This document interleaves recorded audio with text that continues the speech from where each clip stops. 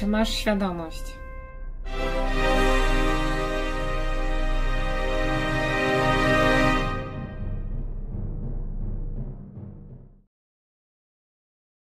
Z niektórych wypowiedzi szefów amerykańskich gigantów technologicznych wynika, że mają oni świadomość znaczenia działalności ich firm dla bezpieczeństwa narodowego.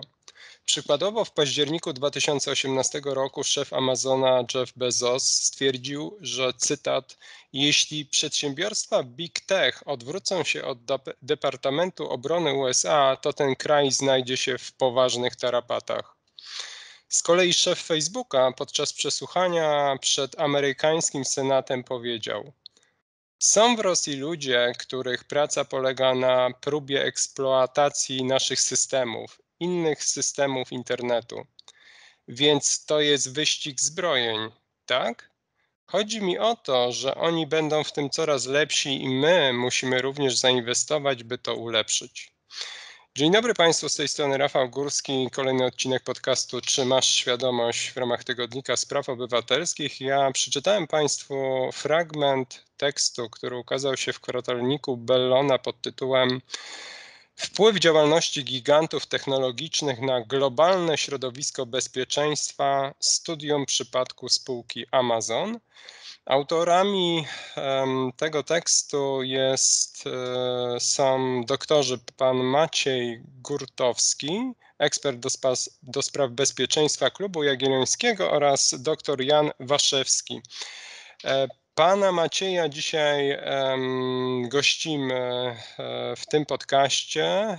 Dzień dobry, panie doktorze. Dzień dobry, witam serdecznie. Panie e, doktorze, skąd w ogóle pomysł na to, żeby taki tekst e, przygotować, dokonać takiej analizy e, firmy Amazon i jej wpływu na bezpieczeństwo? W październiku 2020 roku zakończyły się prace amerykańskiej specjalnej parlamentarnej podkomisji do spraw ochrony konkurencji. I prac, te prace zwieńczył raport, na którego pierwszych stronach Autorzy tego raportu stwierdzili, że działalność amerykańskich gigantów technologicznych z grupy GAFA, czyli Google, Amazon, Facebook i, i Apple, zagraża amerykańskiej demokracji i wolności słowa. A wolność słowa i demokracja to są filary amerykańskiego e, ładu politycznego. No więc co takiego się stało, że firmy, które raczej kojarzymy jako pewne, pewnych sympatycznych dostawców używanych przez nas na co dzień towarów i usług, no stanowią zagrożenie prawda, dla fundamentu e, politycznego no, najsilniejszego państwa na świecie. Więc y, o ile produkty firm takich właśnie jak Facebook, Google czy Apple są ogólnie, wydaje mi się, dobrze kojarzone przez y, polskiego użytkownika, tak Amazon na naszym rynku, no tak do zeszłego roku był raczej bardzo słabo obecny. W 2019 roku szacowano, że udział Amazona w handlu zalicznym elektronicznym w Polsce to jest mniej niż 2%. E, więc uznaliśmy z kolegą, że dobrze byłoby przybliżyć, co takiego Amazon robi, że amerykańscy politycy zasiadający w Komisji Ochrony Konkurencji uznali, że stanowią tak poważne zagrożenie. No i postanowiliśmy przybliżyć właśnie e, te elementy jego działalności, które są mniej powszechnie znane, ale które naszym zdaniem każą poważnie e, przyjrzeć się temu, co tak naprawdę ta firma robi. No właśnie, w Państwa tekście czytamy takie zdanie, już w 2013 roku Amazon ogłosił, że zawarł kontrakt z Centralną Agencją Wywiadowczą. Um, proszę powiedzieć, co e, mhm. faktycznie Amazon robi. Mhm. To, to, to, będzie, to będzie długa, długa wypowiedź, także proszę mi się nie bać przerywać. Więc y, ta wygrana kontraktu w 2013 roku no, miała przełomowy charakter, przełomowy także z powodów pewnych mentalnościowych. Otóż proszę sobie wyobrazić, że Amazon, on ogólnie jeszcze teraz w Polsce, ale też w wielu miejscach na świecie, kojarzony jest po prostu jako sklep internetowy, czyli takie można powiedzieć trochę większe amerykańskie Allegro. I proszę sobie wyobrazić, jaki był szok w 2013 roku, kiedy firma mająca opinię dużego sklepu internetowego wygrała federalny kontrakt dla wielkiej agencji wywiadowczej, pokonując takich gigantów informatyki jak IBM. Dla IBM-u to był szok, tak, że sklep internetowy zaoferował rozwiązania doskonalsze technologicznie niż nasze. Sklep internetowy. Co się takiego wydarzyło w międzyczasie? Otóż Amazon faktycznie zaczynając jako księgarnia internetowa z czasem bardzo wielkie środki inwestował w dział R&D, e, który miał za zadanie optymalizowanie mechanizmów jego funkcjonowania. Przy okazji na przykład do obsługi właśnie owej rozrastającej się księgarni, która wprowadzała do swojej oferty potem także wydawnictwa fonograficzne, powstała duża sieć komputerowa, y, którą y, chciano możliwie optymalnie biznesowo wykorzystać, czyli sieć komputerów, która stała w dzień po to, żeby obsługiwać e, ową rozrastającą się księgarnię, w nocy jej moc obliczeniowa nie była wykorzystywana. Więc pojawił się pomysł w rozwijającym się Amazonie, ażeby tą moc obliczeniową sprzedać E, użytkownikom w innych miejscach globu, kiedy, gdzie, gdzie, strefa czasowa jest inna, gdzie jest dzień i zaoferować usługi właśnie outsourcujące moc obliczeniową. Amazonowi przypisuje się pionierską rolę w rozwijaniu usług chmurowych, które dzisiaj są pewnym standardem. I w 2013 roku, kiedy Amazon stawał właśnie do tego, do tego, do, do tego konkursu o, o, kontrakt federalny dla e, Federalnej Agencji, dla Centralnej Agencji Wywiadowczej, posiadał już właśnie dzięki zainwestowaniu poważnych środków w optymalizowanie swoich rozwiązań technologicznych ofertę bardziej atrakcyjną niż dotychczasowi giganci informatyczni. To jest jak gdyby pierwsza część odpowiedzi, dlaczego akurat wtedy. E, teraz odpowiem, co, co Amazon robi i czym tak naprawdę jest. Tak jak powiedziałem, my go kojarzymy jako sympatyczny duży sklep internetowy, gdzie można znaleźć dużo różnych rzeczy, można je kupić dość tanio i szybko, i, i, i do tego jeszcze jest szybka wysyłka. Natomiast to jest jeden z segmentów działalności Amazona i to chyba coraz, coraz, coraz, coraz, coraz mniejszym stopniu najważniejszy segment. Otóż e, wspomniane przeze mnie usługi chmurowe, to obecnie, obecnie Amazon jest największym na świecie dostawcą usług chmurowych. Jeżeli ktoś chce poważnie myśleć o prowadzeniu biznesu w internecie, to może po pierwsze spróbować samodzielnie rozwinąć własny interfejs kontaktu z użytkownikami, z klientami i dla własnych pracowników, e, który mm, no, powinien być niezawodny, bezpieczny i umożliwić działanie na różnych platformach, albo może po prostu kupić taką usługę od Amazona, dostanie gotowy interfejs, gotowy język, y, znajdzie na rynku programistów, którzy potrafią to obsługiwać i ma w zasadzie cały ból, nie ma już bólu głowy, tak? Ma gotowe, gotowe, bezpieczne, sprawdzone. E, więc to są usługi chmurowe, tak, gdzie właśnie szacuje się, że Amazon ma 1 trzecią światowego rynku. Dalej, sama skala działania. Amazon obecnie jest pod względem kapitalizacji rynkowej piątą największą firmą na świecie. E, no, jak to się popularnie mówi, duży może więcej. Z tego rodzaju siłą po prostu trzeba się liczyć. I Amazon nie tylko kontroluje istotną część infrastruktury cyfrowej, ale jest także ważnym właścicielem i zarządcą E, globalnych sieci spedycji towarów.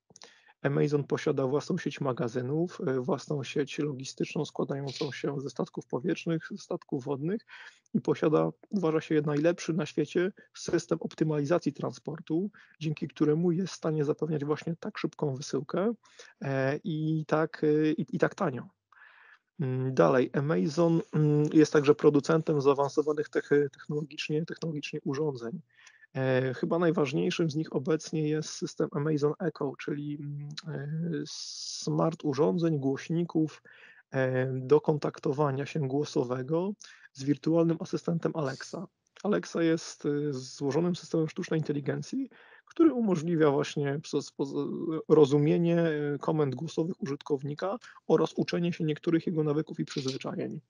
E, to uczenie się jest bardzo ważne, ponieważ działa on coraz dokładniej i coraz lepiej stara się niejako antycypować życzenia swojego właściciela. Czyli na przykład e, asystent Alexa uczy się, jakiego rodzaju towary są przez użytkowników zużywane i na co będzie on gotowy w najbliższej przyszłości wydać pieniądze. Czyli na przykład nie musimy pilnować, że kończą nam się baterie czy papier toaletowy, bo asystent Alexa wie, że zamawialiśmy je w ciągu minionego roku mniej więcej co dwa tygodnie, więc podpowie nam, co chcemy kupić. Proszę zwrócić uwagę. Głośnik, tak, dyktuje klientowi, czego potrzebuje, tak, i co może ewentualnie chciałby kupić, a czego jeszcze nigdy nie kupił. Czyli proszę zwrócić uwagę, e, klient, tak, jego wolna wola tutaj wspomagane przez urządzenie będące programowane przez wielkiego giganta e-handlu, który obsługuje największy rynek na świecie. E, dalej, Amazon produkuje także czytniki, czytniki e-booków Kindle, posiada także sklep, dystry, sieć dystrybucji sklepów ze zdrową żywnością. No, tych segmentów działalności jest bardzo dużo. Myślę, że dotychczas te trzy pierwsze, które wymieniłem na samym początku, powinny nas najbardziej absorbować. No chyba, chyba Adolf, Adolf Huxley się przewraca w grobie, nie wymyśliłby tego. A jak koronawirus, panie doktorze, wpłynął na e, notowania Amazona? Y, samego Amazona dokładnie nie pamiętam. Jego wycena rynkowa była około 1 biliona dolarów, obecnie wynosi 1,7 biliona dolarów czyli no, u, u, urosło, można powiedzieć, no, chyba o 60%, tak? Tak, ja czytając Także, ten tekst mhm. byłem, byłem pod wrażeniem tego, tego wzrostu, aż nie mogłem uwierzyć. Tak, także, także uwa uważano, że globalny kryzys gospodarczy wywołany pandemią i, i, i lockdownem w przypadku większości tradycyjnych firm no, będzie powodował kryzys, tak? ale giganci technologiczni i Amazon zwłaszcza na tym kryzysie akurat wyjątkowo skorzystali. Natomiast problem polega nie tylko na samym wzroście kapitalizacji rynkowej, która jest pewnym takim wskaźnikiem pośrednim e, tego, jak dobrze sobie jak dana firma radzi gospodarczo. Bardziej istotne jest to, że w pierwszych miesiącach pandemii okazało się, że Amazon pełni pewną rolę infrastruktury krytycznej państwa. Otóż y, podczas takiej pierwszej gwałtownej reakcji na rozprzestrzenienie się pandemii, wiele instytucji y, publicznych czy, czy, czy, czy wiele podmiotów gospodarczych musiało zahamować swoją działalność, ale nie Amazon. Amazon okazało się, że w niektórych obszarach Stanów był jedynym dostawcą naszych, no, był jedynym dostawcą no, takich przedmiotów codziennego użytku, jak na przykład środki sanitarne, e, higieniczne czy lekarstwa.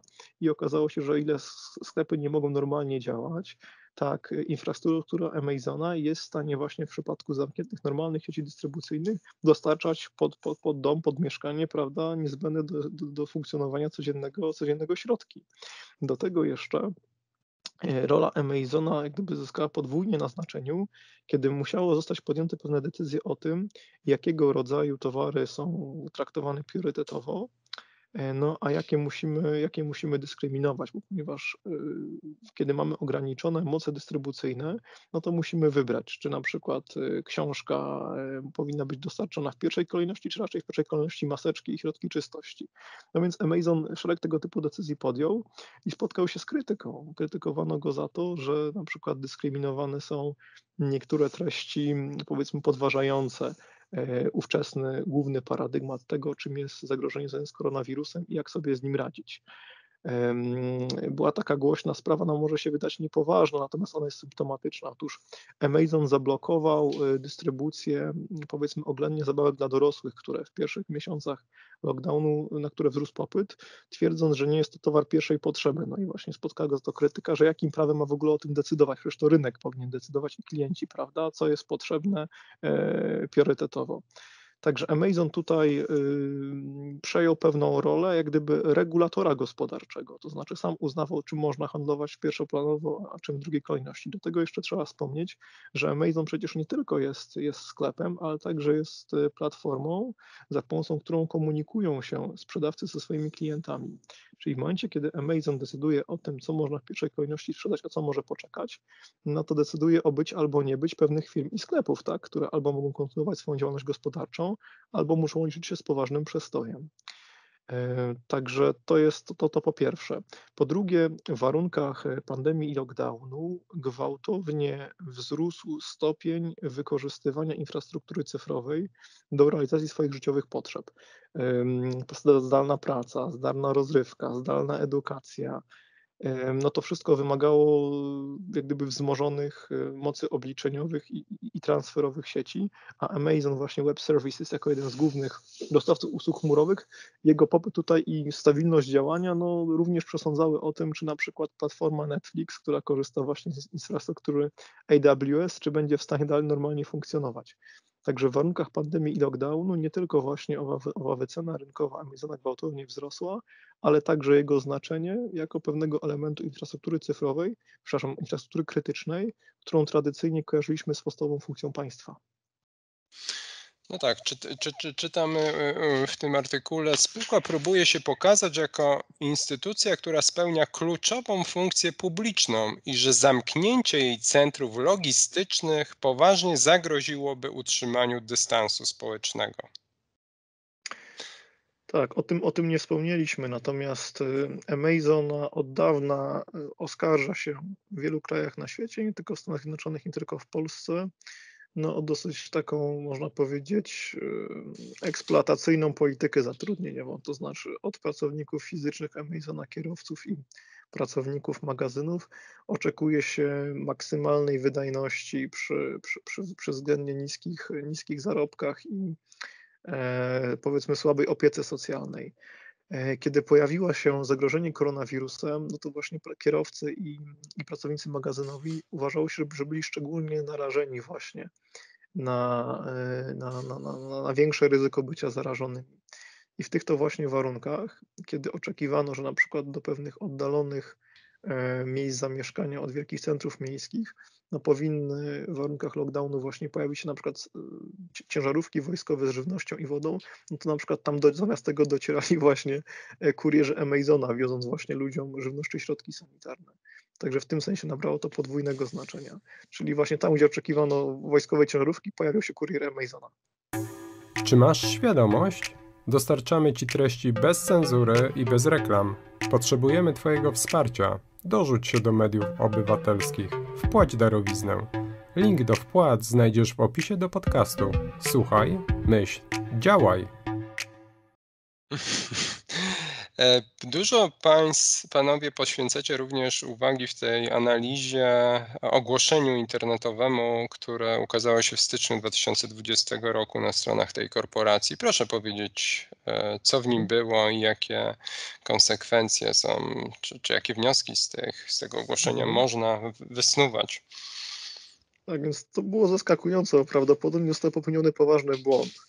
E, ktoś prawdopodobnie w Amazonie albo nie dopilnował, e, albo nie miał świadomości konsekwencji e, wypuszczenia do, do, do, na, na forum publiczne szczegółów oferty zatrudnieniowej Amazona. O co chodzi? Więc pojawiły się dwa ogłoszenia o tym, że Amazon rekrutuje po pierwsze analityka wywiadowczego, po drugie starszego analityka wywiadowczego. I e, obie te funkcje, mm, e, może tak, obie te posady były dedykowane dla byłych pracowników służb specjalnych wojska lub organów ścigania, od których oczekiwano to, że nie tylko będą w stanie analizować informacje i, przed, i prezentować wyniki analiz w przystępny sposób, ale także będą funkcjon potrafili funkcjonować w pewnym reżimie wywiadowczym. To profesjonalnie nosi określenie jako OPSEC, e, Operations Security, e, co należy rozumieć jako umiejętność takiego pozyskiwania danych, żeby nie pozostał ślad, że ktoś w ogóle czegoś szukał. E, także to jest, to jest, to jest pierwsza rzecz. Natomiast to jest w biznesie pewna standardowa praktyka, z którą się raczej nikt nie obnosi, tak? Raczej, raczej firmy nie starają się obnosić z tym, przynajmniej publicznie, e, że zatrudniają byłych oficerów wywiadu po to właśnie, ażeby, ażeby wykonywali dla nich jakieś pracę. Co gorsza, Amazon e, bardzo niefrasobliwie napisał, jakiego rodzaju zagrożenia w szczególności go interesują. E, no i to był pewien szok dla opinii publicznej, ponieważ wprost napisano, że od tych analityków wywiadowczych oczekuje się pewnych działań związanych z neutralizacją zagrożenia dla firmy ze strony związków zawodowych. No i to był, można powiedzieć, gwóźdź do trumny dla wizerunku Amazona, tak? Firma, która ma poważne problemy z poradzeniem sobie z oskarżeniami o dyskryminowanie i wyzyskiwanie pracowników, chce zatrudniać byłych oficerów służb specjalnych, ażeby ci paraliżowali pewne działania na rzecz uzwiązkowienia pracowników Amazona. No gorzej być nie mogło. E, I po trzech, po trzech godzinach, kiedy wybuchła, wybuchła burza na, na Twitterze i innych mediach e, tradycyjnych związanych właśnie z tym ogłoszeniem, ogłoszenie zdjęto. Wypuszczono oficjalne dementi, w którym wskazano, że e, tak naprawdę to, to ogłoszenie ono dokładnie nie opisywało tego stanowiska i było pewnym efektem błędu, no i proszę się rozejść i zapomnieć o sprawie. Oczywiście w internecie nic nie, nie ginie, można odnaleźć kopię tego właśnie ogłoszenia. No i co, co, co tak naprawdę ono oznacza?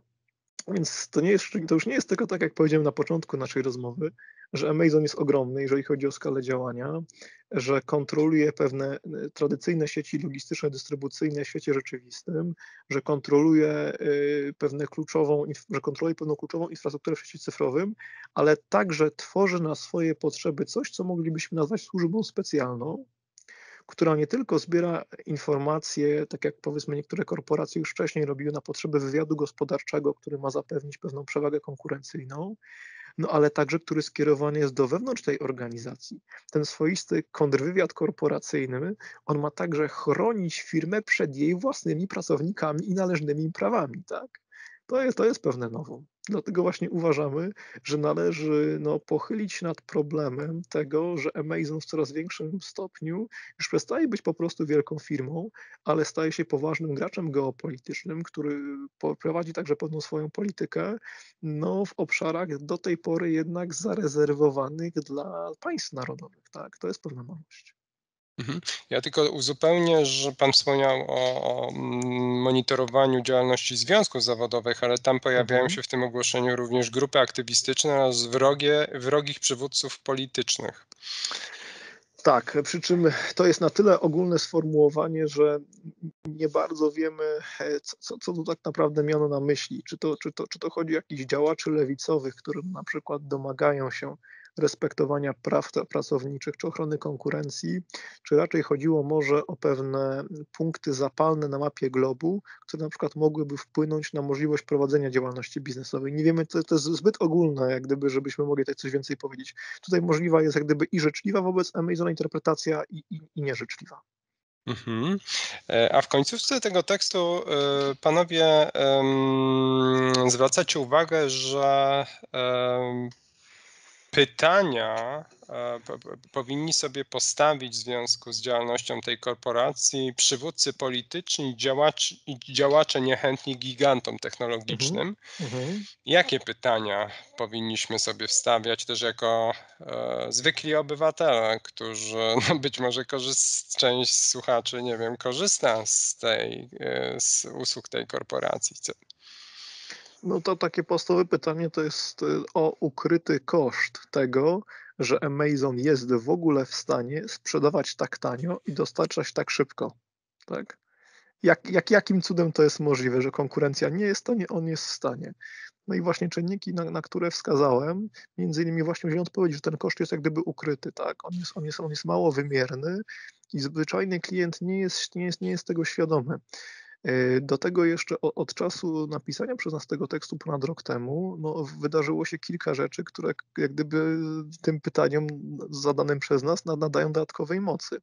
E, proszę zwrócić uwagę, e, rok temu miała miejsce taka seria wydarzeń pozornie nieważnych, ale które pokazały pewną, pewną nową właściwość świata cyfrowego. O co chodzi? Pewnego dnia na, na, na zachodnim wybrzeżu Stanów Zjednoczonych setkom użytkownikom przestały działać odkurzacze w domu na raz.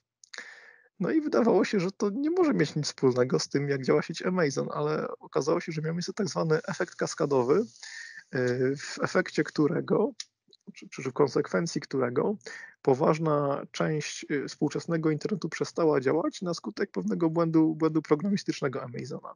No i nagle, nagle serwisy wielu firm, które korzystały z infrastruktury Amazon Web Services na kilka godzin przestały działać, no i ludzie nie mogli na przykład kontynuować swoich, swoich codziennych zajęć. I zaczęto od tego czasu spekulować, że awarie sieci Amazona zaczynają coraz większe stopnie być awariami całego internetu.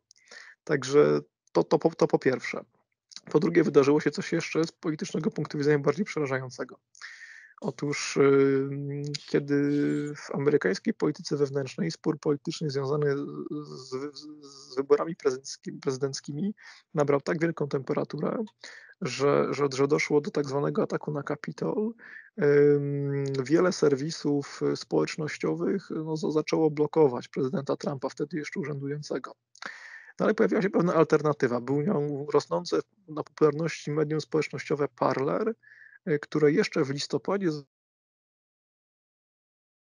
zwróciło się na to, że będzie taką konserwatywną, republikańską alternatywą dla Facebooka. Co się stało? Y, Amazon, halo, halo? Tak, tak. Słychać, słychać. Amazon, Amazon, który właśnie sprzedawał Parlerowi infrastrukturę cyfrową, nagle bez wyraźnego powodu zablokował mu ją. E, czym doprowadził do sporu sądowego, który chyba się jeszcze do dzisiaj ciągnie. I, e, natomiast skutecznie Amazon upo, upośledził możliwość rozwoju sieci Parler, e, wtedy, w, która wtedy była wyceniana na poważne pieniądze. Uważ, wielu analityków uważało, że Amazon tak naprawdę no, dał pocałunek śmierci Parlerowi i możliwości organizowania się cyfrowego sympatyków Trumpa.